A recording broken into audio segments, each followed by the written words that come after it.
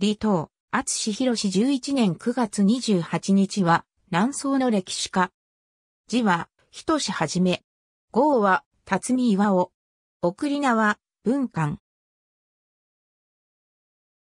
眉州丹老県の出身。唐の宋王李明のこの李忍の末裔とも、宋史に伝えられている。若い頃に金との戦いに従事し、昭光8年に紳士となった後、生徒府、歌謡県守護を振り出しに、地方官を歴任、剣道3年に中央に召されて、実録編纂にあたる。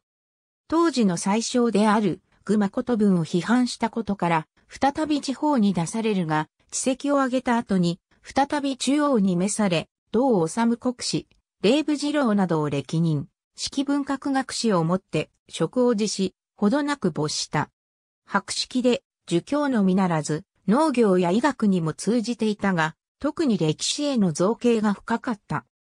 王安石を嫌って、芝光を尊敬し、その歴史書、史実眼の続編として、北宋一代の歴史書、続史実眼長編980巻を編纂した。また、官人として、基礎の実録や、宋四彫刻史の編纂に携わった。その著作は、基本的に旧法等側に立ったものであるが、実証主義を重んじた内容になっている。